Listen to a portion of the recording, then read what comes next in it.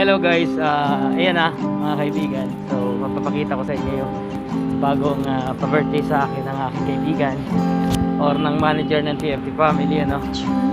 Ang thankful lang kasi may mga nakilala ko na tulad niya. At higit sa lahat, eh, may mga taong katulad niya na walang sawang sumusuporta lalo na sa mga propaganda ng TFT family. Yun lang guys. So, Lahat ng problema dito po yung ating head manager ng TFT uh, TFT family. Si head manager Exodus. Ayan. Ito po. Kinakain po nga yung ngayon namin sa bulalo. And sisling. Beef. Beef sisling. Mga sisig. So yun lang. Nag-enjoy lang kami. Wala kaming ka-date kasi mga loyal kami. Kami sa amin. Mga minamahal na asawa. Ayan. So kami lang dalawa nag-date pero walang Malaysia. Okay? Thank you guys.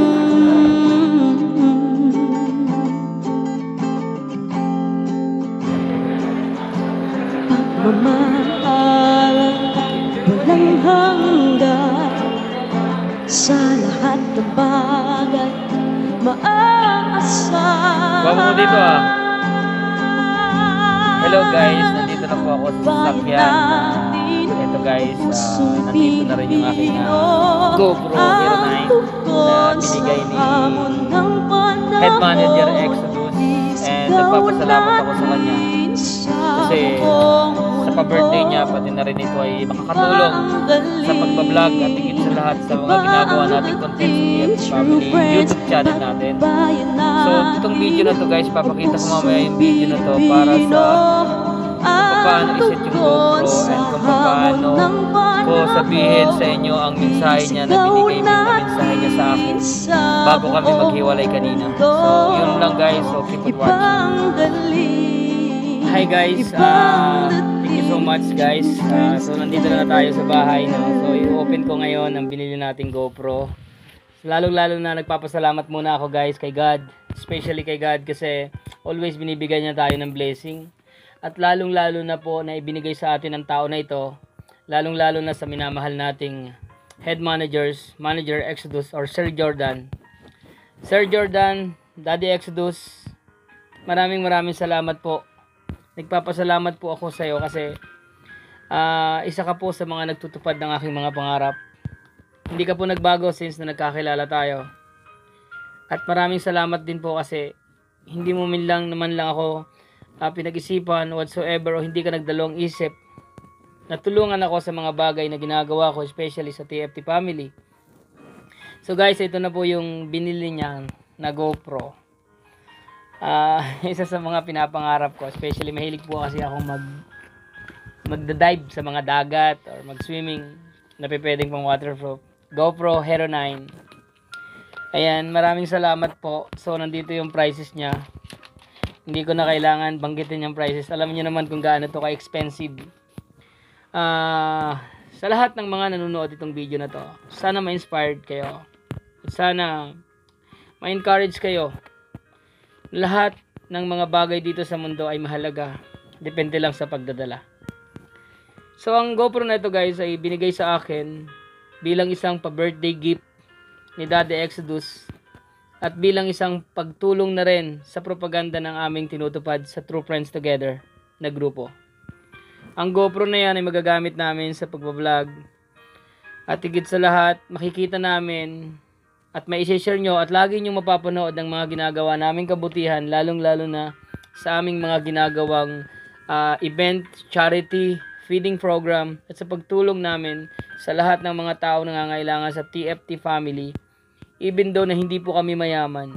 Maibsan man lang kahit sa isang araw ang kahirapan ng mga tao na nangangailangan. Hindi po ako mayaman hindi po si Daddy Exodus mayaman. Mayaman po kami sa kaibigan at may bukal na kalooban So guys, ito na. This is it. Ito yung GoPro na bubuksan ko na ngayon para at least kahit paano eh, masiyahan at makita ng madlang people, especially buong TFT family. Kung kung ano to, camera na to guys.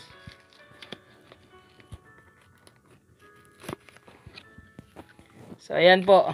papakita ko sa inyo ang ating GoPro. Charan! So, ayan po mga kaibigan. Iyan na natin.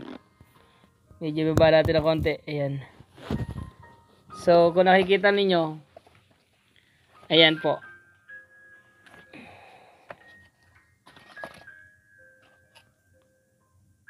So, i-assemble na natin, ano. Para at least makikita ninyo. Baka sabihin nyo, hindi pala ako marunong mag-assemble nito. Sorry. Ayan mga kaibigan, ipapasok natin. So, pag natapat na yung butas dun sa GoPro, pwede nyo nang ipasok yung tornilyo. Ayan, yan yung tornilyo niya. So, pwede na rin natin tong buhayin.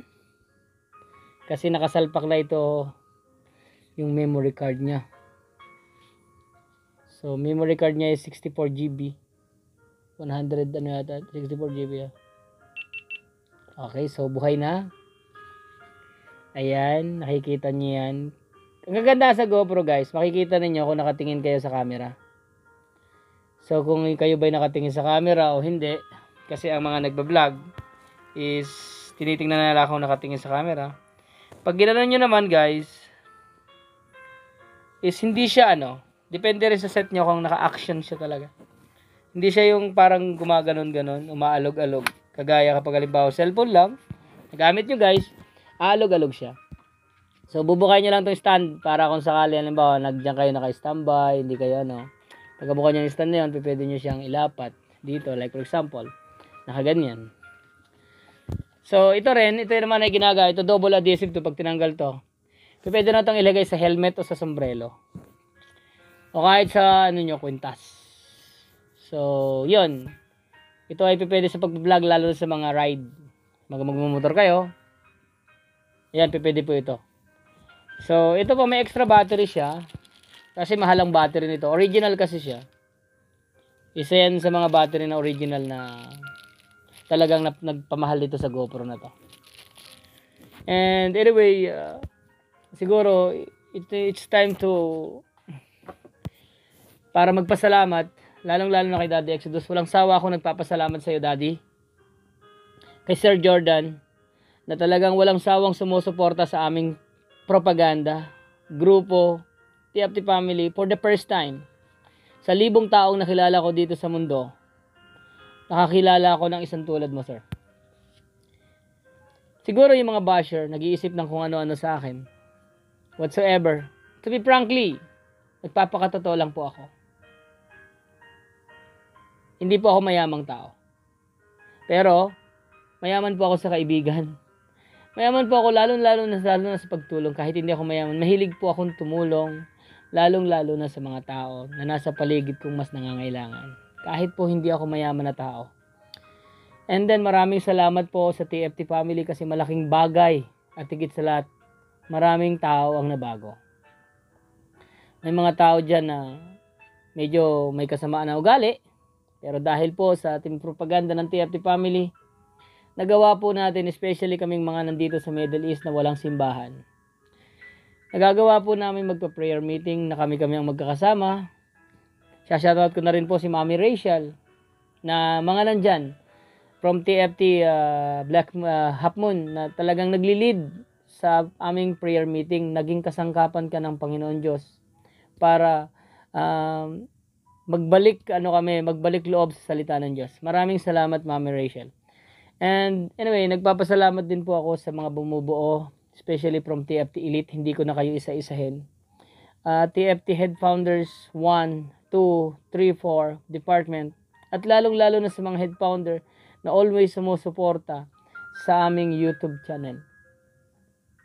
Sa lahat po ng mga nanonood itong video na to, i-subscribe nyo po yan. Pindutin nyo na rin po yung notification bell para palagi nyo kayong updated sa aming mga video, especially charity event. Hindi po kami pumipili ng mga taong tutulungan. Feeding program, hindi kami pumipili as long nakarapat dapat tulungan. Kahit nasa kulungan po po yan.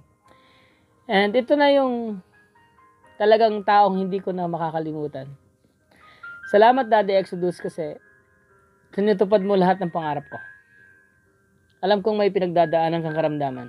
At isa ako sa mga nagdadasal na sana malampasan mo lahat ng mga problema at pinagdadaanan mo, especially personal, personal mong problema. Daddy Exodus, hindi lang po ito ang naibigay sa akin. Marami pa po. Hindi ko na po isa-isahin. At especially sa lahat ng membro ng TFT, napakarami na po niyang natulungan. Hindi lang po TFT1, hindi lang po TFT2, hindi lang po TFT3, hindi lang po TFT4. Daddy Exodus, napaka-bless namin sa'yo. At nagpapasalamat kami kay God kasi binigay ka sa amin. Sana marami pang taong maka-appreciate ng ginagawa mo. Sana marami pang taong maging katulad mo. Yung ipinamana mo sa amin sa pagbibigay, hindi sa lang sa material. Pagbibigay ng oras, time, at pagbibigay ng pagmamahal. Sana mamana ito ng buong TFT family. Maraming salamat, Daddy Exodus. Isa kang blessing sa buhay namin. Isa kang biyaya na ibinigay sa amin ng Panginoon Diyos. Sa lahat po ng mga basher ko naman, mahal ko po kayo. Dahil kung walang basher ako, walang naninira, walang taong magiging katulad nila na naniniwala. Kaya sana, spread the love, all TFT family. Tuloy na, nandito na tayo. Maraming salamat po sa inyong lahat. Sana panoorin niyo itong video na to at para ma-encourage naman kayo at makita ninyo kung ano ang aming mga ginagawa sa buhay, na kahit malayo kami sa aming mga pamilya, nagagawa naming maging masaya, makatulong sa iba't iba, at higit sa lahat, mabago ang ibang tao. Yun lang, maraming salamat, and happy, happy uh, birthday to me. Maraming salamat. At sa lahat ng mga nagbigay ng birthday gift para sa akin, bumate, maraming maraming salamat sa inyo. Sa March 9 pa po ang birthday ko. Thank you so much, TFT. I love you all. Walang iwanan. At ito yung tinatawag nating salita na binitawan niya bago kami maghiwalay kanina. Sabi niya sa akin guys is, simple lang ang kapalit niyan. Yaan ay wag mo silang pabayaan.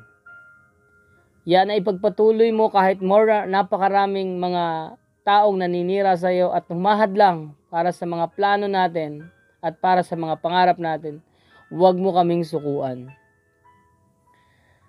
Guys, hindi mahirap ang kanyang ginag hiniling. Kasi nakikita ko sa kanyang pagkatao na hindi siya sumusuko. Ngayon, marami na ang TFT family na patuloy na nagpapakilala, na patuloy na nagpapakita ng kanilang kagalingan at kanilang pagmamahal. Hindi, even though na hindi kami magkakaano-ano, even though sa apps lang po kami nagkakilala, Maraming salamat sa iyo, Daddy Exodus. Isa kang mentor ng buong TFT, lalo na sa pagmamahal at pagmamalasakit sa TFT family. Nasa iyo na ang empathy rules and regulation ng TFT. Karapat dapat ka sir na maging nairespeto ng buong TFT. Karapat dapat ka na pasalamatan. Karapat dapat kang tawagin ng isang bayani ng TFT family. Hindi lang po ako ang natulungan nito hindi lang po GoPro. Hindi lang po TFT na tulungan ito kahit saan man, kahit sa katrabaho niya, kahit saan sa ang lugar. Nakikita ko ang pagtulong niya na walang uh, walang kapalit. Trip niya lang tumulong. Hindi ko alam kung I don't know what happened to him, guys.